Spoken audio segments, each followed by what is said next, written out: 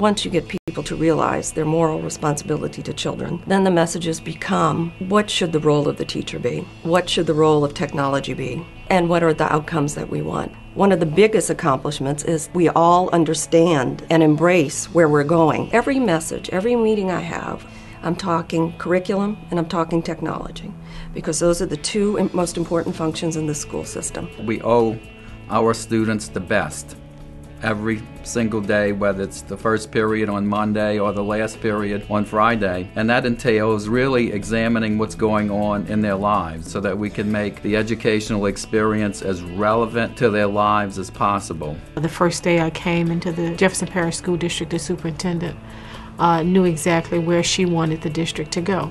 She was uh, knowledgeable about technology and she knew that technology integration, as well as the work that the district had been working on with Schlechty and the Center for School Reform, would allow us to get there. What I see is the tone being set by the superintendent and even by the school board uh, uh, as a governing body. Leadership with integrity, leadership that has the vision to help bring our students up to a level that is expected not only in the business community, but in the community as a whole, because that's what creates good citizens. It's very important to have folks that are asking the hard questions and that aren't satisfied with the status quo.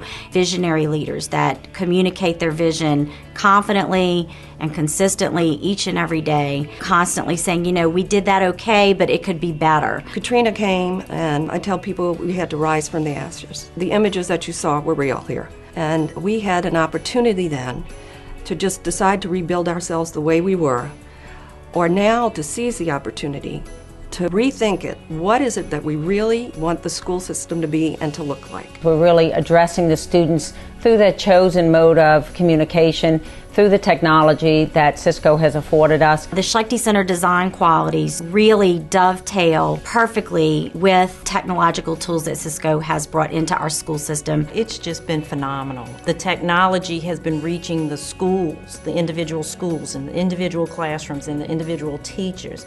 And as that has gone out, the excitement grows, and the kids, they want it and they can do it, and it makes them love learning. It draws them into places they could never ever go before and experiences they never could have. What we see is an acceleration that we could not achieve with standard teaching methods without the technology that we're employing. It has been the force that keeps children in from recess, they don't want to go keeps them in from lunch. It is remarkable if you've seen it. Not only does it your heart good, it does your soul good to see what can happen and that you are truly affecting change in their lives. The kids already have it. The kids already know it. It's the adults who need to catch up with the kids because the adults are catching up with the way the kids are entertaining themselves and the way they're communicating we've brought everyone into the same circle of communication and mode of learning. And by adding this technology, it completes the link. It's just wonderful seeing uh, the transformation, not only for the students, but for the teachers really getting them to embrace the technology and realize that it doesn't supplant them as a teacher. It just really enhances their lessons, enhances what they're doing, and brings the students into another level of, of engagement and application that really supports the students and helps them become the best students that they can be so that they can be productive citizens in our society. I've been teaching for a long time. I'm from the old school, but I find myself very excited about education. I find that excitement carrying over into the classroom to the students. And when I'm excited, they're excited. And it's building this community of learners that possibly would not have happened or evolved had we not had the technology. Many of our students have never touched a computer before they walk into our school. But that starts from our pre K program at four years old. They're using computers in the classroom. They have a Promethean board. And it, it's so exciting for me when I visit the classrooms and see these little bitty children um, just manipulating the tools on that Promethean board and they know exactly what to do. I like it because the Promethean boards are, they make learning more fun and it's easier to do work and things. We, uh, we get to show like all the PowerPoints that we do on them and instead of just having it's group work and it's it's not individual and everybody gets to work together and it's fun.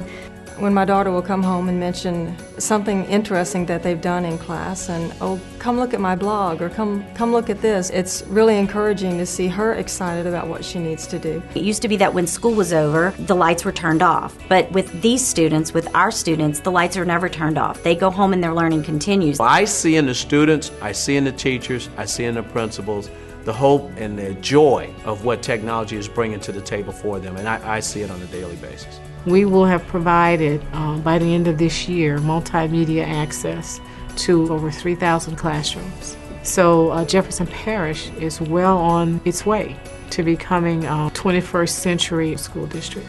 You have to believe it can be done, convince others it can be done, and work shoulder to shoulder with them to get it done. That is leadership. Believe it, convince others, and work with them. It's a new way of teaching and learning, and we owe it to our kids to do it this way.